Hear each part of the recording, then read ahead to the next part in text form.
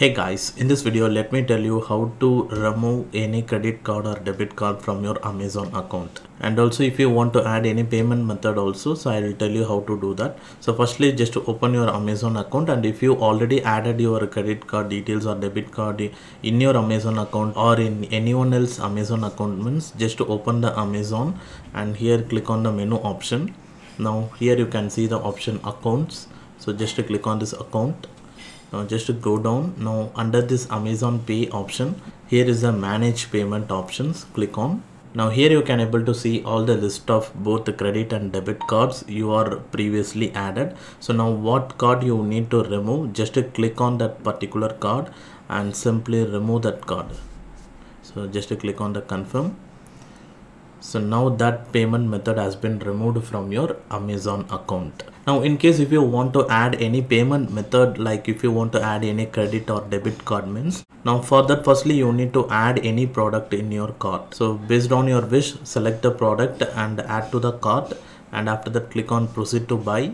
So during the payment uh, section only you, can able to see the option. So now under the credit and debit card section here is the add a new credit or debit card.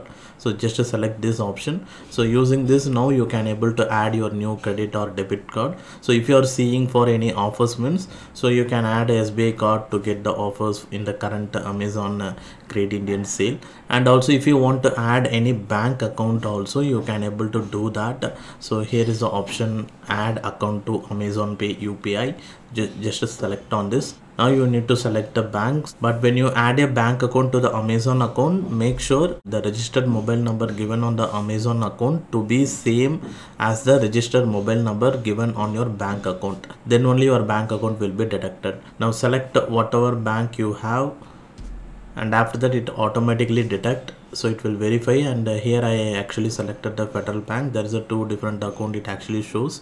So select the account you want and click on the next. Now click on the proceed. And that's it. Now that particular account has been added as the bank account. Now in this way you can also add the bank account or credit or debit cards during the payment process